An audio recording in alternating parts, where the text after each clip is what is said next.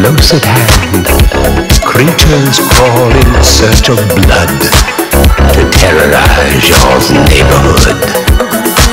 And whomsoever shall be found without the soul for getting down must stand and face the hounds of hell and rot in